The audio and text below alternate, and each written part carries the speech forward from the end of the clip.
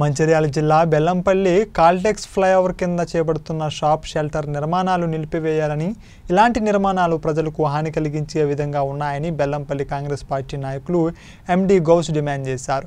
గతంలోనే హైవే నిర్మాణాలపై ఆర్టీఐలో సమాచారం అడగగా national highway authority of India వారు ఎలాంటి పర్మిషన్ ఇవ్వలేదని మాకు సమాచారం ఇవ్వడం జరిగిందన్నారు. కాబట్టి ఇటు నిర్మాణాలను వెంటనే నిలిపివేయాలని ఈ ప్రజలకు హాని కలిగించేలా ఉన్నాయని కాబట్టి ప్రతి అధికారులు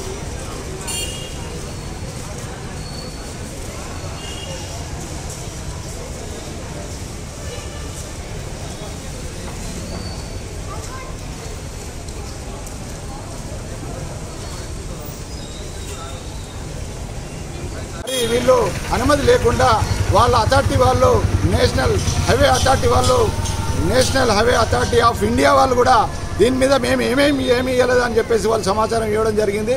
అంటే వాళ్ళ సమాచారాన్ని కూడా పక్కకు పెట్టి వాళ్ళ ఇష్టారాజ్యంగా వాళ్ళు ఇక్కడ కట్టడాలు కడుతున్నారు.